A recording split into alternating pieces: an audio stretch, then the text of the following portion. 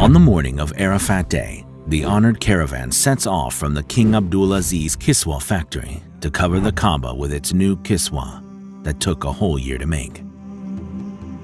The Kaaba's Kiswa covering is a great habit of honoring and glorifying the holy Kaaba. It is a covering of black silk, embroidered with Quran verses in gold. The first step in making the Kiswa is dyeing the natural silk threads then weaving the fabric automatically with the Quran verses embroidered on it. Then several tests are conducted on the silk threads. In the printing stage, the belt of the Holy Kaaba is embroidered, and the Quran verses are hand embroidered with gold-dyed threads.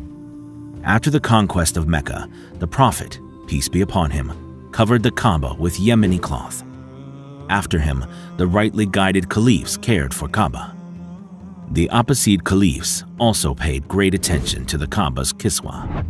The inscriptions on the Kiswa was introduced at the beginning of the Abbasid era.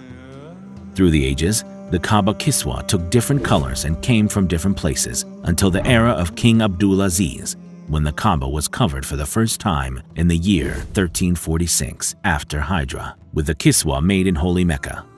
Following his footsteps, his dutiful sons kept paying attention to the Kaaba and its kiswa to the utmost degree.